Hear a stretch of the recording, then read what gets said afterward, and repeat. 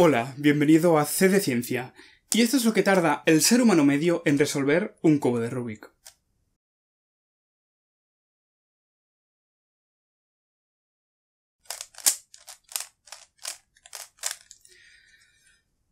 Y esto es lo que tarda una inteligencia artificial. Fíjate que en este vídeo están tapando la cámara que detecta las posiciones que ocupa cada uno de los cuadraditos del cubo con un papel, pero en el momento en el que lo quitan, el programa rápidamente procesa los datos que le envía la cámara para resolver el cubo en poco menos de un segundo. 3, 2, 1, go. 1.047 seconds. Esto es posible debido a que este ordenador, en cierto modo, es más inteligente que cualquier ser humano que exista en el planeta a la hora de hacer cálculos rápidos, porque para resolver el cubo de Rubik lo que realmente se hace son una serie de algoritmos predeterminados que se aplican en función de la posición de las piezas. Pero estos algoritmos son para los lentos humanos. Para las inteligencias artificiales existe un algoritmo llamado número de Dios. Es el número máximo de movimientos con el que se puede resolver cualquier posición del cubo tradicional de 3x3. A los humanos nos costó 30 años de arduos cálculos matemáticos el poder demostrar que dicho número es de 20, esté lo mezclado que esté, cualquier cubo está a 20 movimientos o menos de ser resuelto. Durante estos 30 años, varias personas intentaron encontrar dicho número, empezando con 52 como el número máximo de movimientos, hasta que en 2010 se usaron muchos superordenadores de Google para demostrar que dicho número era de 20 y no se podía bajar más. ¿Y por qué hicieron falta tantos superordenadores? Pues porque un ordenador de escritorio habría tardado 35 años en hacer dicha demostración. La clave de este algoritmo mágico está en saber encontrar esas 20 dichosas combinaciones, porque al fin y al cabo todo se resume a prueba y error. Deberías probar todas las combinaciones de movimientos posibles hasta que encontraras aquella que te permite resolver el cubo en 20 movimientos o menos. La especie más inteligente del planeta moriría antes de hallar esos 20 movimientos, pero esta inteligencia artificial a la que puedes acceder desde tu ordenador te permite introducir el estado de tu cubo y en menos de dos minutos hallará la solución de 20 movimientos o menos. Pero los hay de más rápidos, y es que al fin y al cabo todo se resume en la capacidad de computación. Este es el robot que ostenta el récord mundial. Lo puede resolver en tan solo 0,637 segundos, el mismo tiempo que necesita un ser humano para que la luz del cubo llegue a su retina, sea enviada al cerebro, procesada y este envía una respuesta motora a las manos. Cuando el campeón mundial del cubo de Rubik está haciendo su primer movimiento, la máquina ya lo ha resuelto, por lo que ningún ser humano será jamás capaz de superar a una máquina a la hora de hacer el cubo de Rubik. El cubo de Rubik y muchas otras cosas. Nuestro cerebro y nuestro cuerpo tienen sus limitaciones. La única solución, pues, si no puedes luchar contra tu enemigo, únete a él. Pero, ¿cómo que la única solución, Marty? No tenemos por qué unirnos con la inteligencia artificial. Simplemente podemos seguir usándola como un complemento a nosotros y ya. No hay ningún problema, ningún enemigo, no hay que buscar soluciones. Ay, amigo de la internet, si te tuviera aquí a mi lado te daría una palmadita en la espalda y es que la humanidad se unirá inevitablemente con la inteligencia artificial. Es tan solo cuestión de tiempo. ¿No me crees? No tienes por qué hacerlo, dejaré que seas tú mismo quien llegue a dicha conclusión. Para ello, nos subiremos a una máquina imaginaria capaz de viajar a una hipotética dimensión donde el tiempo pase a ser una dimensión física. Para que me entendáis, algo similar a lo que vio Cooper cuando en Interstellar llega al Tesseracto. Y si no has visto la película, digamos que vamos a imaginar que somos capaces de visualizar distintos momentos de la historia del universo a la vez. Fijémonos ahora en tres planetas. Es el mismo planeta Tierra, pero en distintos momentos de su historia. La Tierra de hace un millón de años, la de hace 50.000 años y la actual. Los planetas 1 y 2 parecen idénticos. De hecho, lo son. Es el tercero que es un poco muy distinto. Está lleno de manchas grises por todos los continentes, aviones surcando los cielos, barcos navegando por los océanos, una nube de satélites orbitando el planeta, e incluso hay cositas que salen de este para visitar la Luna. Tanto el planeta 2 como el 3 tienen algo en común. Tienen seres humanos. Sin embargo, el planeta 2 se parece mucho más al 1 que no al 3. Y eso que en el segundo planeta los Homo sapiens sapiens ya llevaban 150.000 años en él. Seres humanos inteligentes, igual de inteligentes de lo que somos hoy en día tú y yo. ¿Qué ha pasado aquí? Imagínate ahora que coges un bebé nacido hoy en día y se lo das a los humanos del planeta 2 para que lo críen. Este bebé crecería sin problemas, se adaptaría perfectamente y aprendería a sobrevivir.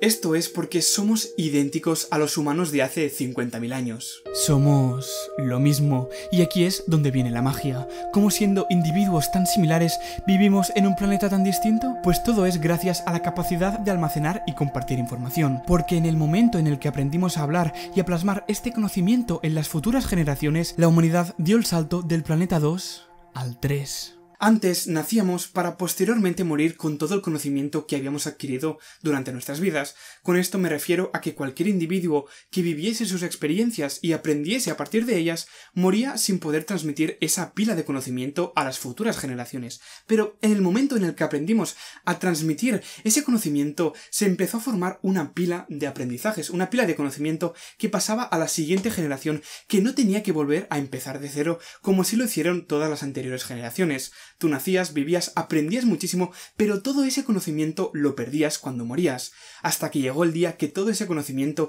se lo enseñabas a tu hijo y tu hijo se lo enseñaba a su hijo para que posteriormente todas las generaciones empezaran con un gran, con una gran pila de conocimiento adquirido previamente por las pasadas generaciones. Así pues, estarás de acuerdo conmigo que la civilización actual se la debemos al hecho de ser capaces de comunicarnos entre nosotros y almacenar información. Podríamos hacer una escala de dicha evolución para que lo entiendas mejor. Primero, éramos cerebros aislados que moríamos sin compartir lo que aprendíamos mientras vivíamos, ya que no sabíamos ni hablar. Luego empezamos a hacerlo, permitiendo transmitir dicho conocimiento a las futuras generaciones. Luego vino la escritura, un método mucho más eficiente y seguro de guardar y pasar dicho conocimiento. Luego el telégrafo, los teléfonos seguidos de Internet, de los smartphones, incrementándose con ellos la eficiencia en las comunicaciones y con ello el progreso de la humanidad. ¿Qué es lo siguiente? La unión de los humanos con la inteligencia artificial, por dos motivos muy relevantes que marcarán el futuro de la historia de la humanidad.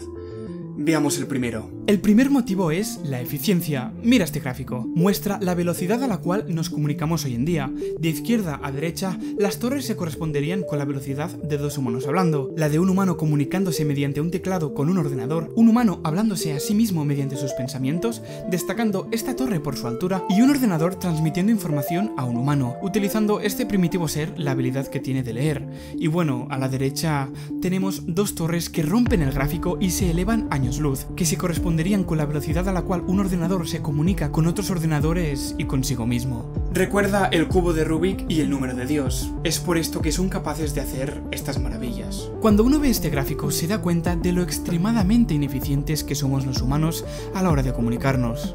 Y pese a eso, pese a ser lo más ineficiente posibles, pasamos del planeta 2 al planeta 3 creo que empiezas a ver por qué es inevitable que nos unamos con la inteligencia artificial. Porque hay un cuarto planeta que está llegando sin que nos demos cuenta. Este siglo, sobre todo estos últimos años, se está logrando por primera vez en la historia de la humanidad digitalizar señales cerebrales. Se está logrando conectar el cerebro humano con una inteligencia artificial. Comunicación directa entre ellos, algo que demuestra qué cerca está la tecnología que nos permita comunicarnos con los ordenadores.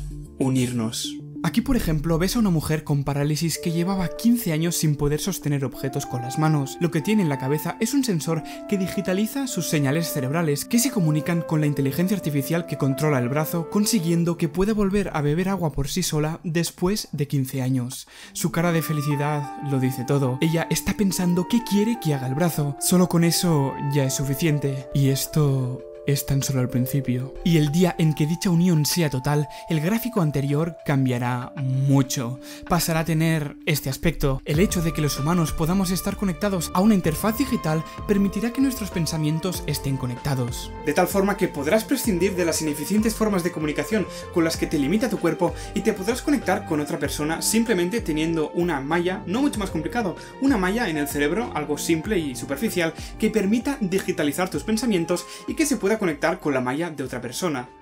Será increíble. Tener una conversación o interactuar con un ordenador será tan rápido como los pensamientos que tienes en tu cabeza. Podremos incluso conectarnos varias personas a la vez, compartiendo nuestros conocimientos y pensando como un único ente, incluso compartiendo nuestra inteligencia. Nacerá la verdadera inteligencia colectiva. Habrá llegado el cuarto planeta. ¿Es este un escenario atractivo? A primera vista, no demasiado.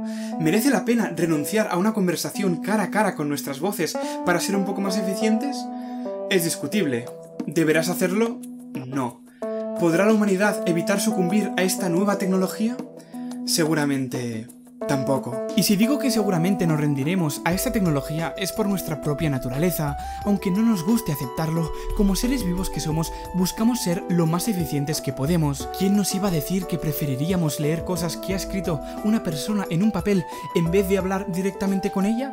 ¿O que preferiríamos chatear utilizando un ordenador en vez de vernos en persona? Tarde o temprano, la comunicación directa de pensamientos humanos será un hecho.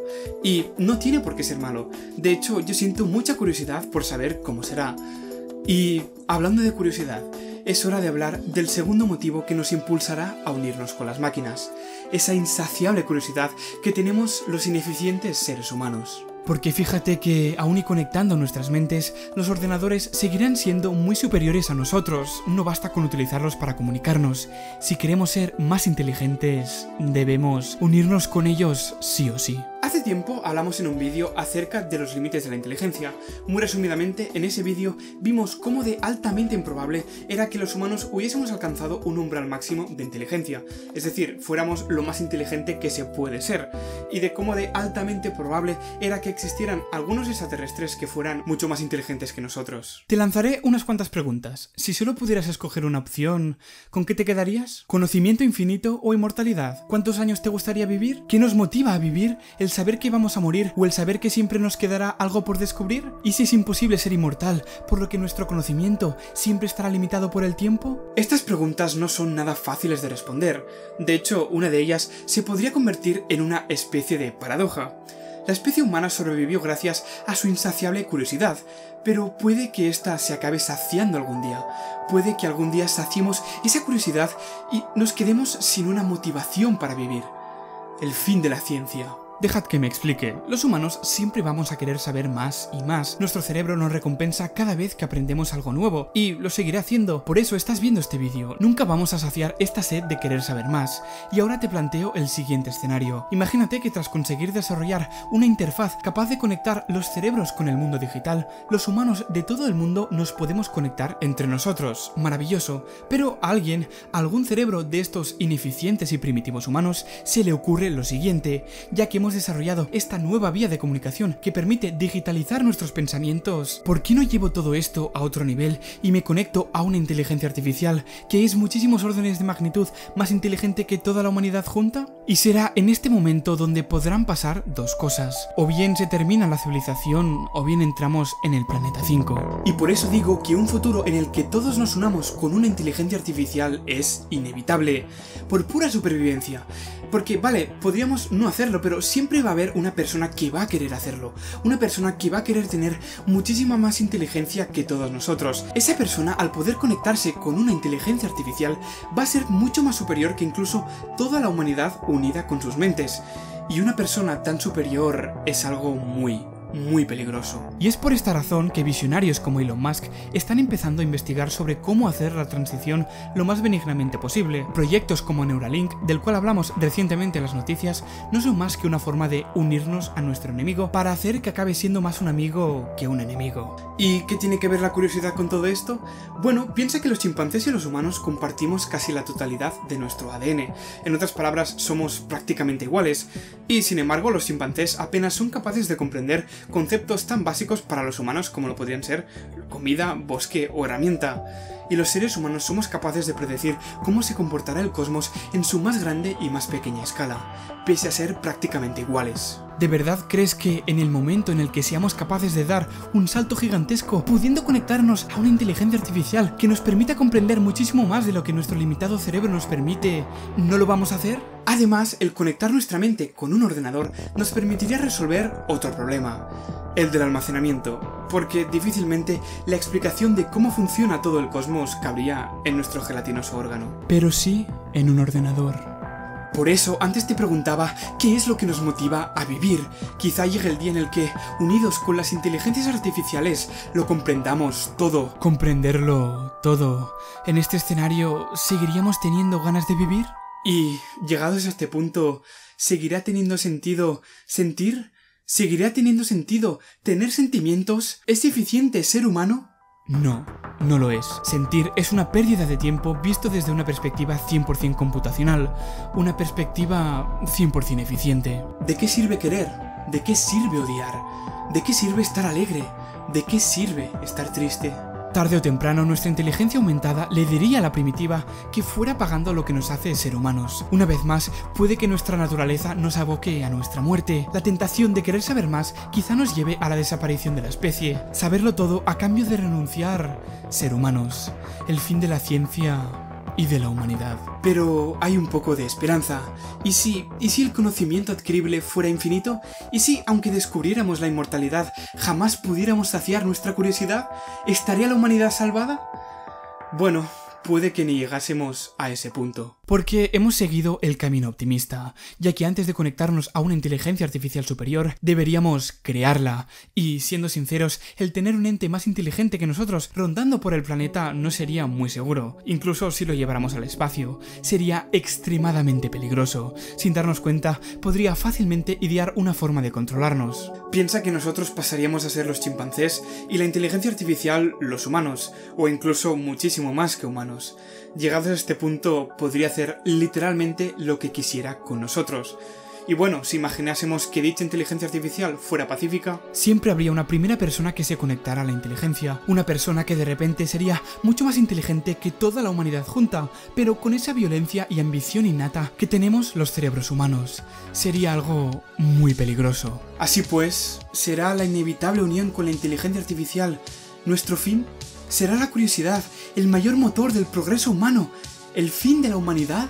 Pues si bien estas palabras te las está diciendo una inteligencia llamada Martí, que es mucho más primitiva que las que tendremos en un futuro, por lo que no deberías fiarte mucho de ella, esta inteligencia está usando el mayor recurso que tenemos ahora para evitar que el mayor salto que dé la humanidad sea el último.